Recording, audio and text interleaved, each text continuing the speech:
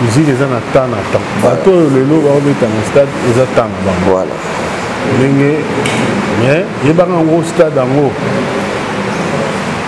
le premier akozala voilà. mpe le chèque akozala debanza london tv na ye yango nomonaka bato mosusu omona asali me asali me akomisi yango ntina suka te hmm. bakomisaka ntina suka te mpo na bato bazalaka nzingazinga na bango oyo bakaka ona oh moto wana alinga diembela bon biloko wana yango wana omoni bato mosusu neti bato mosusu na fitiringa aza na bulu yango te akanisi kaka makambo wana aza na bulu yango hmm. debanza london tv ya accroche te na ba fitting nini osali fitting nini omoi ebangi non fitting oyo nasala epropusanga epusanga bisu limwa liboso eza question kopusa liboso te hmm. yango na eloko oyo ya mabe yango wana hmm. debanza london tv na artiste oyo neti le king fali bosala clip na ye bosali eloko après osali clip eza eza déjà la félicitation très bien eza moto azomona azomona mosika voilà ozomona moto azomona mosika moto aza na baidéologie voilà de banza london tv na sanskri demarche ezala ngai nalukaki petit c'est bon ezalaka ye mpe alukaki vie na ye ado eza te mpo omoni congolais alingi ayeba kaka nani moto oyo atiaki lokolokolo voilà ngai tant que vie na ye nakendaki koluka ye hmm. nakendaki koluka ye esalemi tosala fitire très bien de banza london tv avec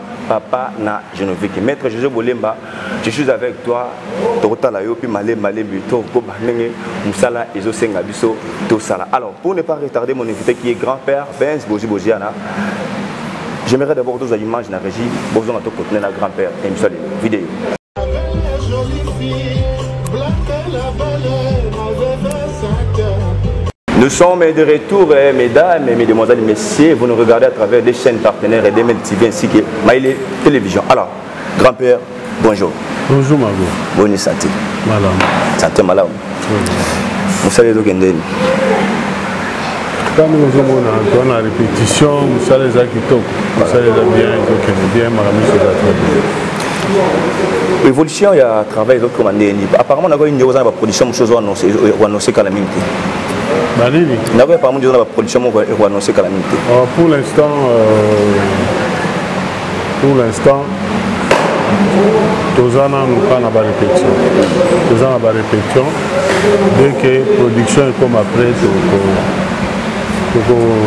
tokoza na barépétition toza na bapréparation makambo na biso ya euh, clip euh, voilà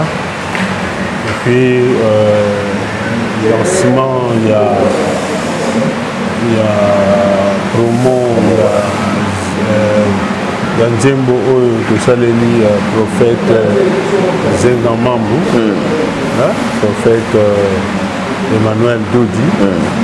Donc, euh, ebandi déjà lancement. obandi déjà lancement ya prophète nzembo osali prophète eh, emmanuel dodi nini eza chanson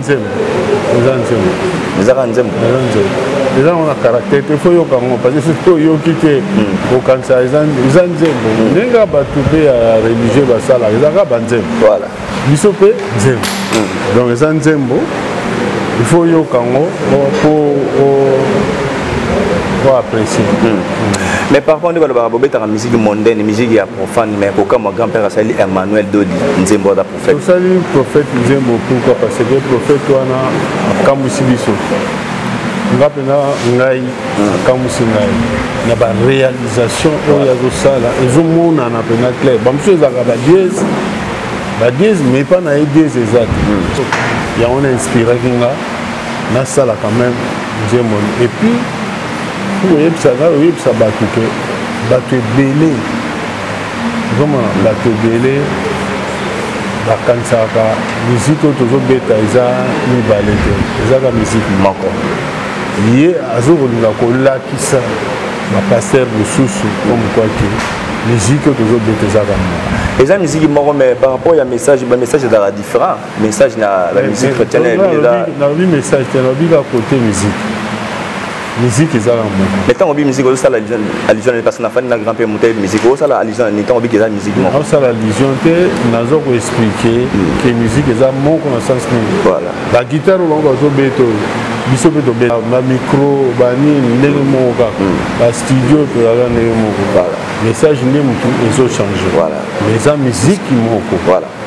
Est-ce qu'il est content, prophète Très Emmanuel content, mm. très content. Mm. Très content. Faut que ça aille, moi, c'est plus ma casse. Malgré ce que c'est plus le thé, bon, on roule ensemble. Mm. mais apparemment na bato bayambaka message na communauté congolaise oyo bayambaka message Eh, bana na nzambe balingami makambo ya nkolo eske bakomona na giga mpe asaleli profete emmanuel nkolo yango eza ya bango nkolo nkolo koto na ba na bamboka mpe afrique mm. tobeti mpe na bastade mm. miziki eza temps na temps voilà.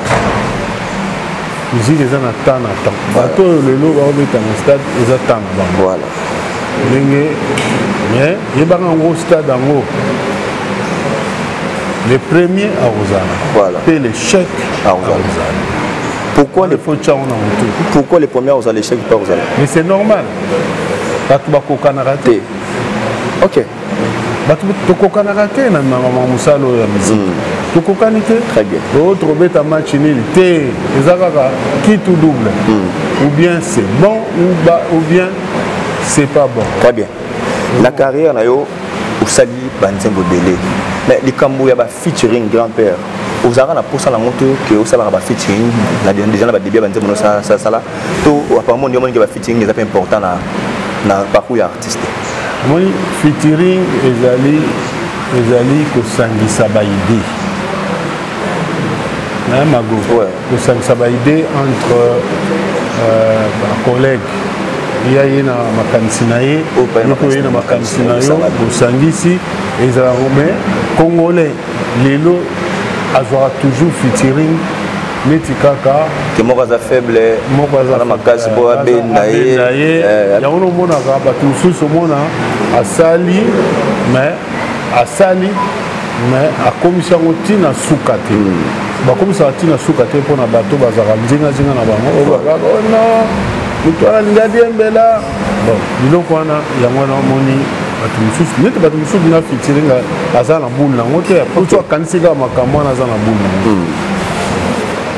mais eza mpe na baartiste oyo mpe azoyeba ntina ya fitiringa voilà azoyeba neti nga nayebi ntina featuring mpo hmm. nasali ba featuring nasali ba featuring na baleki mpe nasali ba featuring mais so nani abeta ndisi na ba featuring phare oyo grand père osala na carrière na yo na yo mona kotala parce que oza na ba featuring mosusu ya accroche akotala bilangi ya featuring oyo bana ya accroche na mosusu ya accroche te na ba featuring osali featuring omoi bilangi na featuring nasala epuisanga epusanga biso lumwa liboso eza question kopusa liboso te hmm. yango na eloko oyo ya mabe yango wana hmm. ezala question te ke so osali fitiring mpo bapuso liboso yango namoni baartiste mosusu osali nzembo mona osala clip te euh, aza na idee ke ekopusa yo liboso non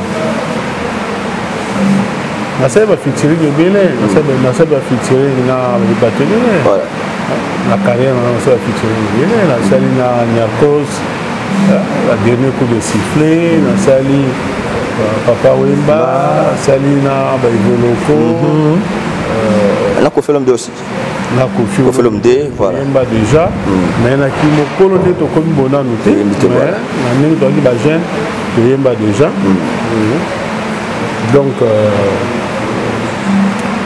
voilà lelo ntango ofanda otali boye est ce que je pourrais dire aujourd'hui que relève soki bino bozotata quand même lelo ekoki kozala na ndenge mpe malamu na bamisien mosusu oyo lelo baleko baosala misiki moko na bino ezala nango kaka moni relève ezalaka te neti ngai aza bona koprograme moto moko asa relève non eza ezali ezali makambo ya nzambe barelève wana ezalaka makambo ya nzambe baartiste ya danger bazokufa mais ya danger mpe bazobotama donc eza nango normal relève ekoya nango automatique euh, relève ekoya automatique ntakoso nayambaka ndeko na yo eloko akanza na émission na ngai je pense que ya pascal eloko akanza napesi mboto akoti obala abalaki ah. félicitation loka ah, kanza vraiment mayeso loka kanza na peso mbuta ote kobala na yambaki ye na émission tosoli na ye natunaki ye likambo ya ba ya ba ya ba poids lourd poids lourd ba poids lourd na musique ya Congo est-ce que lelo to totanga ba poids lourd na musique ya Congo tokotanga ata o 15 pole ou 20 pole oyo lelo batikali na mizika kongo oyo tobenga bato oyo bata minene lokola bino parceke babutu boza susu mingi kotikali entuka bazali ma fo koyeba bacritère nini mpo babenga motu poilu neti ngai nayebi te critère nini bakobenga motu poilu parce que bino lelo critère mpo abenga motu poilu fo abetana na martyr so abeti na martyr te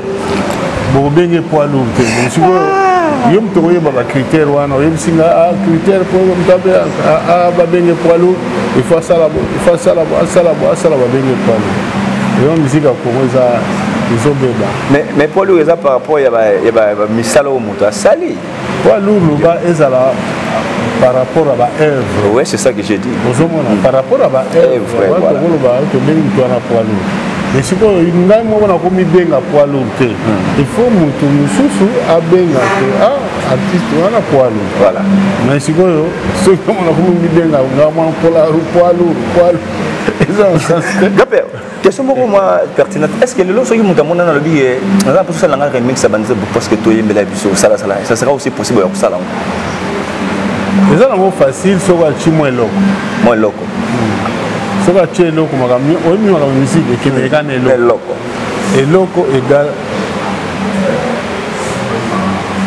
musique musique musique egal eloko donc soki moto atye eloko carrément mosala ekosalema très bien oso atyela eloko te hmm. mosala ekosalema ndenge donc oyaka question ya mwa eloko voilà tosolola mwa moke na masolo ya fisingi bosali na leki na yo fali ipupa bato bazalaki etone ya komona grand père na fali ipupa fitiring ah, wana eza eza normal hmm. eza normal na artiste oyo neti le king fali bosala clip na ye bosali eloko après bosali clip eza eza déjà la félicitation très bien eza moto azomona azomona mosika voilà ozomona voilà. moto azomona mosika moto aza na baidéologie voilà baidéologie donc voilà euh, en tout cas nasepelaki nango puis toyembi bien voilà. en tout cas euh, king vraiment euh, aza mpena moyembi ah, ayembi bien mm. na sentir mpena ke oui yango nazomona ntango ozomona barelève na sentir vraiment na vie non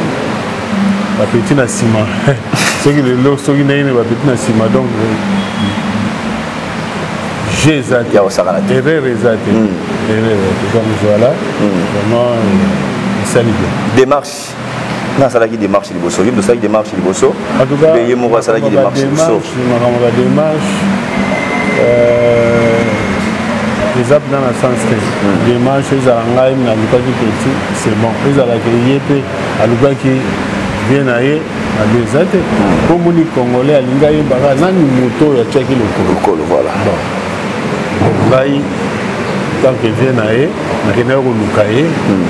nakendaki koluka ye esalemi tosala fitire très bien mpo bosepela hmm. parce bino bolingaka ndenge wana mais ma démarche ça, ça, ça, ça rien à voir rien on a santé voilà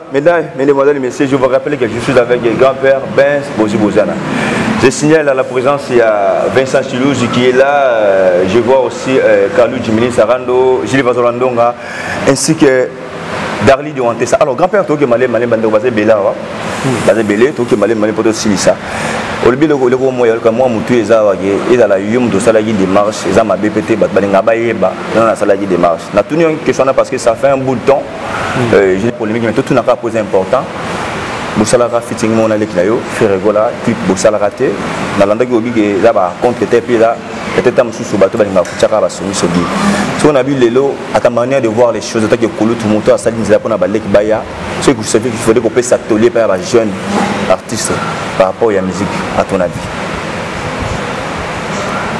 omoni makambo oyo ya miziki ezalaka kaka makambo euh, très compliqué na sens que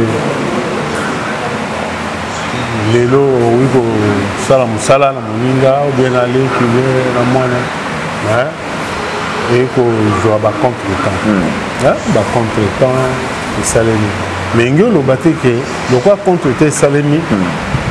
e ya un problème voilà eza nango problème te hmm. esalemaka nakopesa exemple ya papa wemba basalaki fiti basalaki fiti na euh, na jude juin mpiana papa chéri wana opesa bambote place azali leki na nga motema ntango ekomi laka clipe esalemaki te mais ezalaki na esprit ya mabe te hmm. eza kaka ke bacoïncidaki te na batemps hmm. ozomona mais sikoyo bato bamimaoka toujours na ndenge ya mabe hmm. ke oh, non boye o oh, boye bato oyo bazolakisa loba baking le king fali alakisi mpenza ke euh, ye mpenza ayebi masolo hmm. aza na baideologie hmm. c'est bien oyebi nalobi bongo parce que combien lokola mwa polémique lokola mwa bato mosusu balingaka musique na yo bato balingaka yo bato bakwesaka yo bakobakebimisaki mwa polémique fere boye boye abeti mpe na ye 12 biloko ya bongo congolais hmm. alingi jamais koloba verite congolais soki akolobi verite ba omonaka kote mo bakomofinga alors mais ngai na lisolo olobi hmm. nazomona place ya nakoki kobomba masolo te hmm. voilà vraiment en tout cas nasepeli nasepeli makasi hmm. ndenge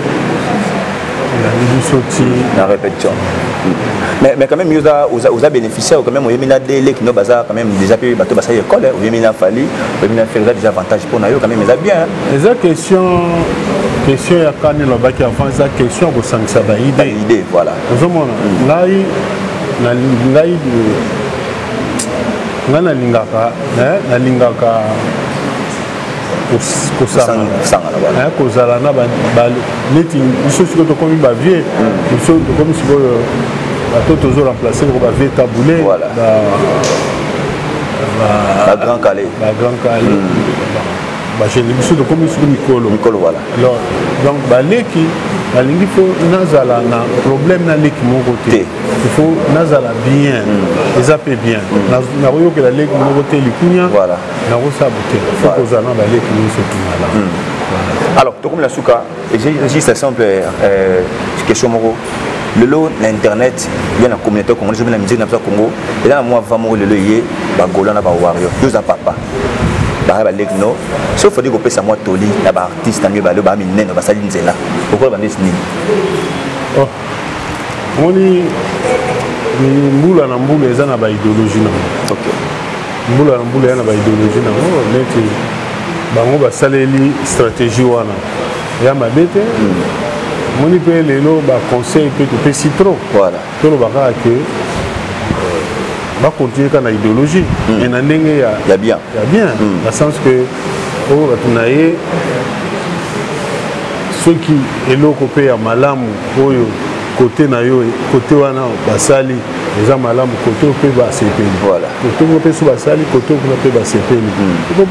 baheritier mpe baza mpe na oyo ya bango nayebi te so babenga yango baheritier mpe baspiritas baspiritas bazali eh, yo babojanas biso te biso tona makambo wana te eh, biso eh. toza na esprit ya ndenge ezalaka ozomona ndenge ezalaki ke kosangana eh, public ezalaki ya kokabwana te lelo yango nomoni miziki na biso ekomi na problème makasi po public eza yakokabwana parce que lelo soki koto oyo basali champ hmm. ata champ yango ya kitoko ezobeta partout hmm. koto kuna bazondima yango kaka te ekomi elongo mosusu ah, zonga te likolo mabe bazondima yango te parce que eza kote na bango te otika biloko wana merci beaucoup grand père tosisi émission quand est ce que tokozwa featuring yango na fali poupa ekozala nose quand bon kala mingi te bozala bo lokola ngai na yo tozalaka zalaka tobenganaka benganaka voilà ozala au courant mpona soki mais kala mingi te kala mingi te alors merci beaucoup tosilisi bandeko batali yo mirele japonaise aza na kini awe natindelo mbote